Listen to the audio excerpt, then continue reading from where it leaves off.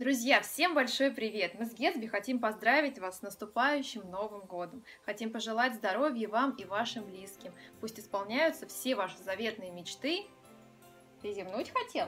Не надо Сейчас мы вам покажем елочку, как мы украсили, да, малыш? У малыша отобрали вкусняшку, поэтому он очень расстроился.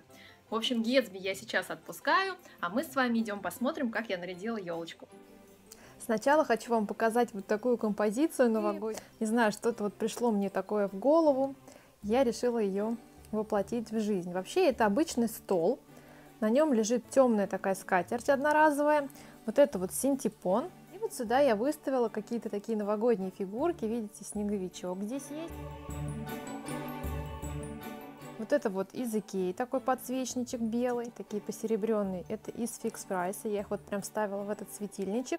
И вот такие вот три подсвечника. Вот видите, домик. Здесь вот вместо шишечек должна быть свечка. Но поскольку здесь антипон, я их вообще использовать, конечно же, не буду. Вот такая звездочка. И там вот вдали стоит елочка. Здесь вот у меня стоит увлажнитель воздуха, который я...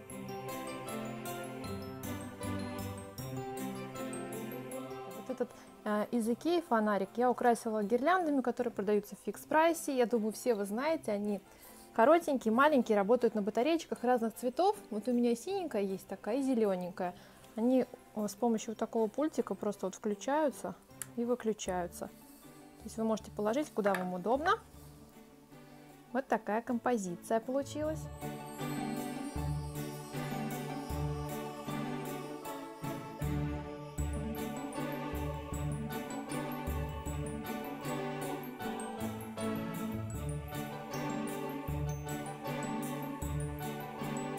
Стене у меня висит вот такой классный веночек. Я его делала еще в прошлом году. Сама покупала обычную гирлянду длинную из еловых вот таких вот веток искусственных.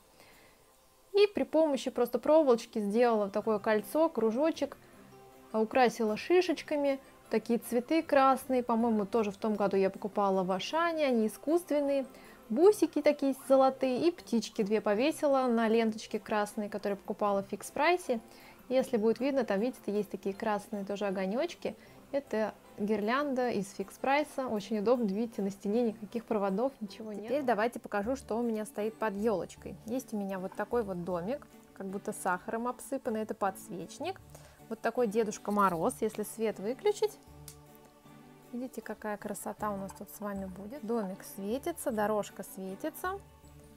Очень-очень красиво. Сейчас я свет включу, вам покажу вообще, что это такое. В фикс прайсе продается вот такая штучка. Я думаю, вы видели ее там, где лампочки продаются, батарейки. Она предназначена для того, чтобы ставить на нее какие-то прозрачные стаканы. Вот, например, видите, здесь мотоцикл у Деда Мороза, он такой прозрачный. Если поставить, такое вот свечение. Также вот домик, например, да, ну вот у него, видите, окошечки. Ну так вот без подсветочки он некрасивый. Свечку не поставишь, потому что опять же может загореться. А если вот так вот взять сюда поставить вот этот кружочек, сразу дом начинает весь светиться. Посмотрите, какая красота. На дорожку ставим Дедушку Мороза. Еще есть у меня вот такой прекрасный ангелочек.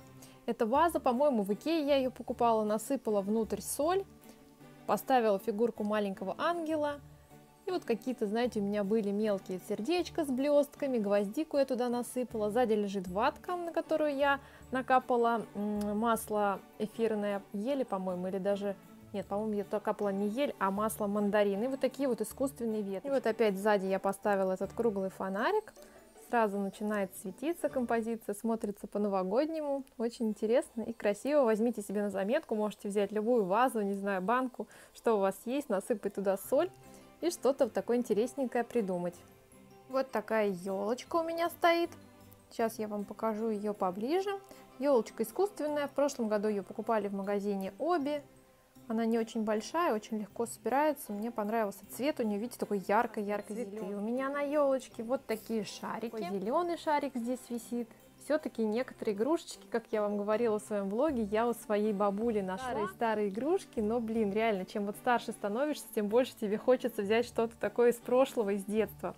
Вот такой сладенький медвежоночек у меня здесь висит. Смотрите, он на лыжах, в шарфике. У него даже лыжные палочки есть. Я помню, эту игрушечку я покупала в прошлом году, она была довольно-таки дорогая. Ключик, тоже, по-моему, пару лет назад мне его дарила сестра. Ангелок. Вот один такой вот ангел золотой, он сделан полностью из металла. И точно такой же у меня есть серебряный. Я вам говорила, что у меня, видите, все собирается как-то парой. Вот такой баклажан. Баклажан, баклажан. Песня есть такая про баклажан у Тимати. Вот, это тоже игрушечка моей бабули, очень она мне нравится, не знаю, я решила в этом году ее забрать. Вот такие яблочки блестящие есть на моей елочке. Шишечка вот такая тоже есть у меня шишечка. Вы думаете, только у вас такая шишка? У меня тоже такая есть. Еще под елочкой стоят у меня бутылочки, которые вы тоже наверняка видели. Они ждут, не дождутся своего часа. Здесь я тоже поставила ежика. В общем, так под елочку потихонечку начинаю складывать подарки, которые я буду кому-то дарить кто нам уже тоже начал дарить. Хочу вам просто показать идею, как можно классно подвесить открытки, которые для вас несут какую-либо ценность. Мне вот эти открыточки дарил сын моей подруги, которому было три годика на прошлый Новый год, он их сам делал. И я их решила в этом году вот так вот повесить. Вы просто берете обычный дырокол, делаете в открытках дырочки, и на веревочке подвешивать открытки можно и на елку повесить, куда хотите. Мы будем с вами прощаться. До встречи в новом 2016 году.